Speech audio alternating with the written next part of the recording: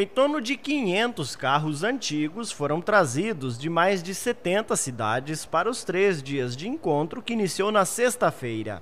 Foi o oitavo encontro de carros antigos promovido pela Confraria de Antigos de Francisco Beltrão. Para os amantes dos carros antigos, né, a aproximação das pessoas na região, dos outros estados, fazendo que a gente tenha uma confraternização, que todos podem, possam procurar o mercado de pulgas, de peças, que é algo difícil de encontrar hoje nos dias de hoje.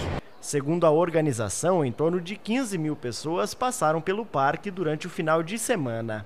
O Celso veio de Foz do Iguaçu, trazendo parte de sua coleção de 30 carros. Ele expôs oito em Beltrão, sendo que cinco da marca Ford.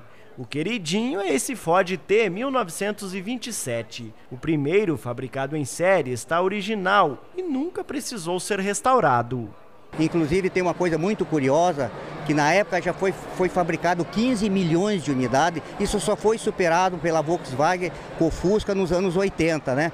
E outra curiosidade do Ford T é que ele tem duas formas de acionamento. Na primeira, semelhante a um carro atual, através de uma partida elétrica, e a segunda, na manivela. Só que pela manivela, o seu Celso estava explicando que é preciso manivelar e correr aqui porque o carro já sai andando, é isso? É, corretamente porque a bateria seria só para auxiliar para você não dar manivela. Agora, quando você dá manivela, ele já vai sair funcionando e corre o perigo até de você se acidentar, porque se você deixar um pouquinho acelerado, ele já vai sair andando vagamente, mas vai sair andando. Inclusive, isso veio acontecer acidente, né? Outro detalhe desse carro aqui é que ele não tem marcha, né? É dois pedais, um para ir para frente e outro para trás, é isso? É, corretamente. Você pode ver que ele não tem alavanca de câmbio aqui, ele só tem três pedais lá embaixo, né? Então seria um pedal para ir para frente, outro pedal que é o ré e o pedal central que seria o, o do freio, né?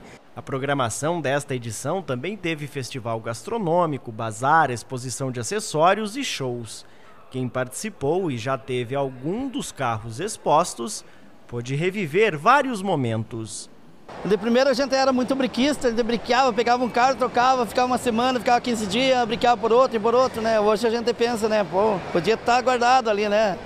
É assim, não Mas é... agora mata a saudade olhando aí. Ó, oh, agora sim, né? A gente fica olhando aí, Deus, dá vontade de comprar todos, mas não tem condições, né?